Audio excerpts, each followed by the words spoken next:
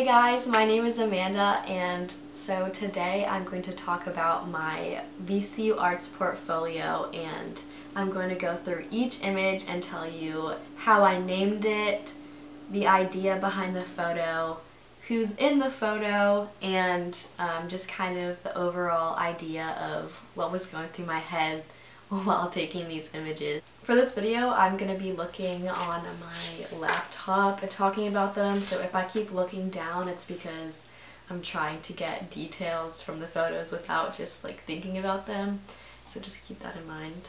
I hope it gives you some insight to how an art student who got into the program compiled their portfolio to submit it. When you sequence your photos, you're supposed to put your worst photo first, and then your best photo last. You want to show progression through the year that you've been taking photos and how you've improved with your technique, with your camera, with your model, anything that can show people who are reviewing you for admission. First image, it's called Girl in the Garden and it is of a girl named Lizzie. We decided to go to the US Botanical Garden which is in DC we were just walking around. It's a very big facility and I found this one spot that I really liked where you could sit on this ledge and all of the greenery was behind you. So I asked her to sit on the ledge and do this kind of like weird one leg up pose. Um, and I wanted just like a plain facial expression so I could really focus on the green colors behind her. And I'm really glad that she wore an outfit that was very simple with the colors so it didn't distract from all the leaves in the background. And then on her shoe there is a little strip of green at the heel which is nice because then it brings everything kind of around in a circle. The image was shot on my first camera which is the Canon Rebel T3i so once we get further into the photos at the end of my series, you can definitely see a difference in quality with the cameras that I flipped over to. My second image is of this girl named Zoe. I named this photo Dipped in Gold because obviously I drenched her in glitter. And for this, we actually used studio lighting, which I'm not very familiar with.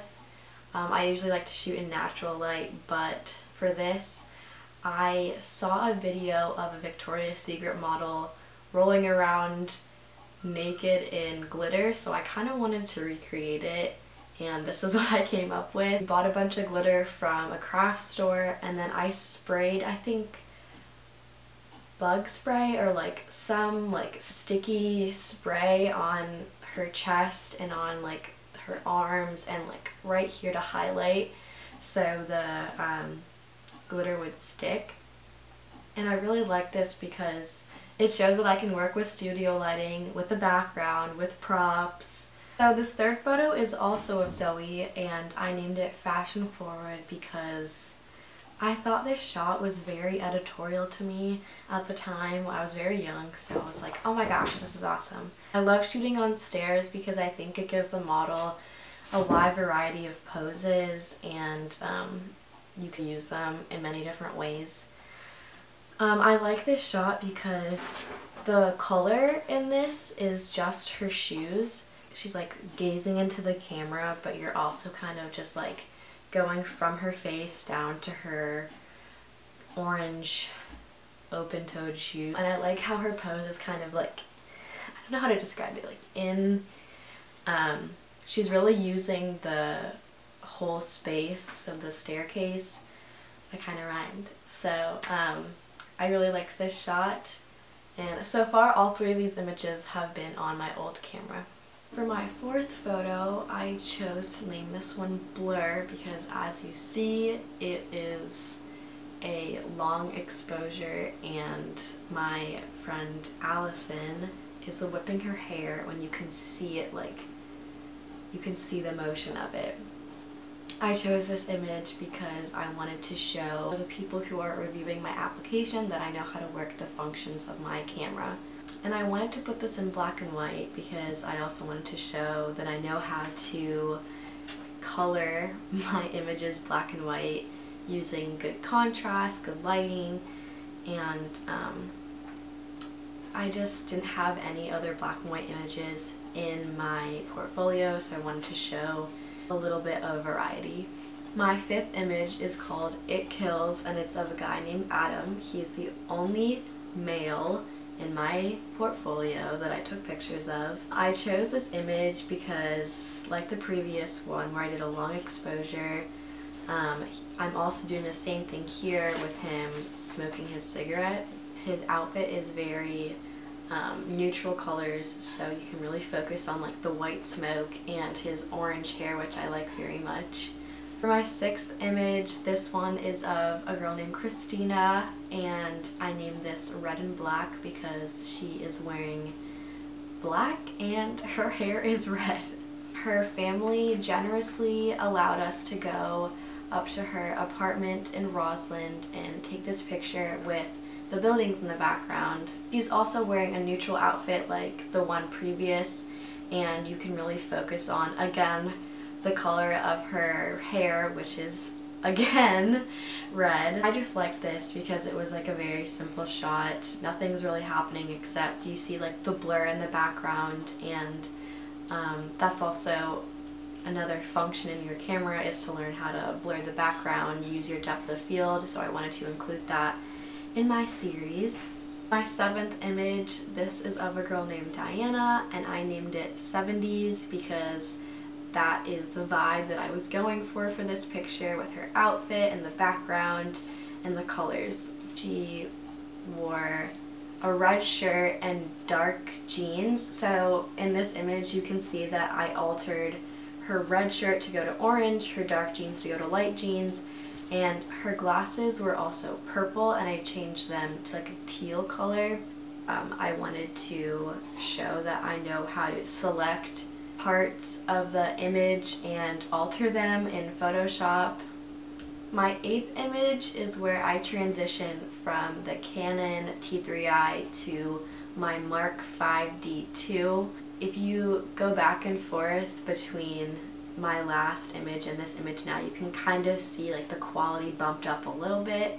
For my eighth image, it's of a girl named Allison and this was shot at the National Portrait Gallery in DC and I named this one Pure because the colors are very neutral and the look of her eyes going upward you can really just see like the whites of her eyes and how beautiful and simple everything is so I just named it Pure because it's very, that's the vibe that I got from it.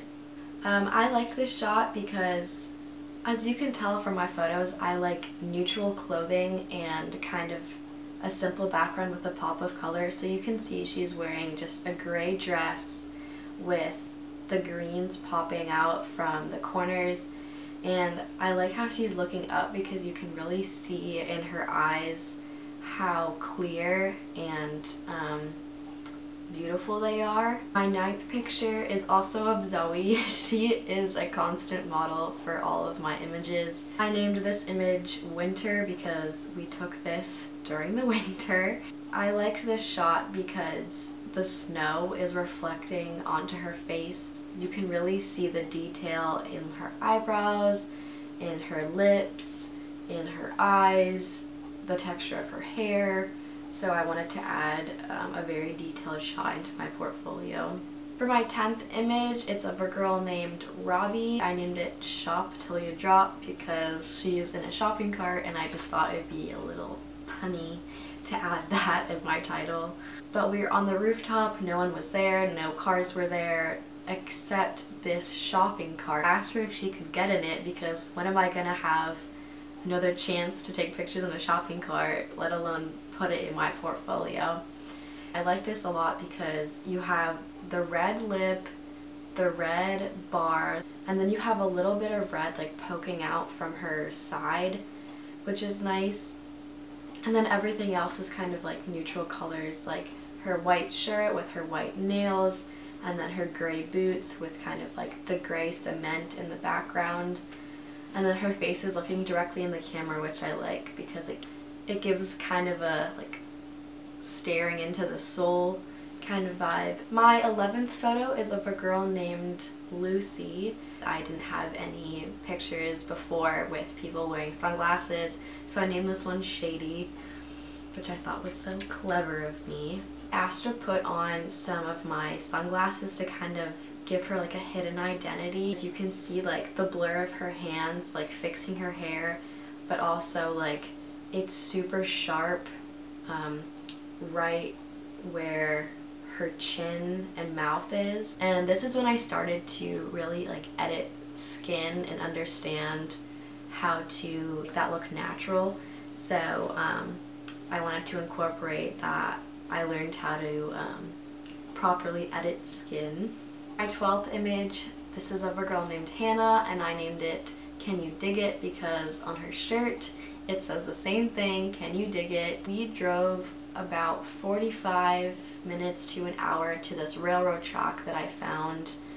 Below her waist the image is blurred and from the bottom up everything is very crisp but also the background is um, blurred as well so I definitely showed technique of how I can bring the model and select what part of her I wanted to be in focus You can see that I enhance the colors and the contrast to show that I am experimenting with hues and the saturation in my photos. For my 13th image, this is of a girl named Emma and I named it Surfaced because she is in a bath of milk and it kind of looks like she's floating on top of it or like coming to the surface. The only thing you can really focus on is like her eyes and then her bright colored lip. We chose to do a black bathing suit or bandeau because then if she was wearing like a floral or like colorful one, it would kind of distract from what we were going for, which was focusing on um, just her face. For my 14th image, this is of a girl named Jenkins, and I named this image Lost in Her Eyes because honestly, every time I look at this picture, I just go straight to her eyes. They are so bright and so beautiful. And even though there's a bunch of um, lavender in front of her face and it's everywhere, I still go directly to her eyes.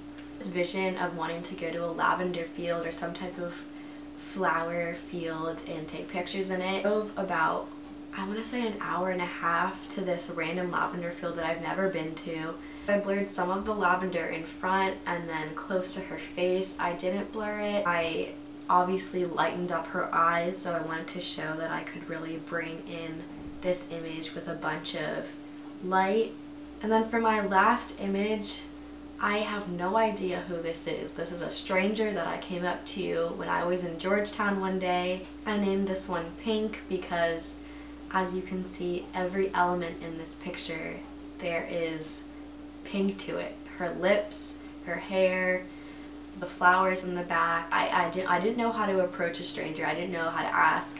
But I knew if I had walked away and didn't ask her for her picture, I would regret it later. I blurred the flowers in the background so you could really focus on like who she is because we don't know and I want to figure it out. I think it's my strongest so I put it as my last image in my series but that is my whole portfolio. I did 15 images out of 16 and was very nervous to submit this because story time. There are days called portfolio days where you can go to the school that you are applying to and show um, faculty or previous students your portfolio or what you have of it so far and they can give you feedback of maybe what other elements you should add um, other concepts you should think about, um, just maybe changing the order of your photos, just any tips before actually submitting your final product. I walked up to this lady because she called my name and I would swipe and show her all the images that I had. And uh, I said, so um, what do you think? What's your feedback? Um, like I'm really nervous and this is my top school I want to get into. Keep in mind the school that I was visiting was VCU which I'm in right now.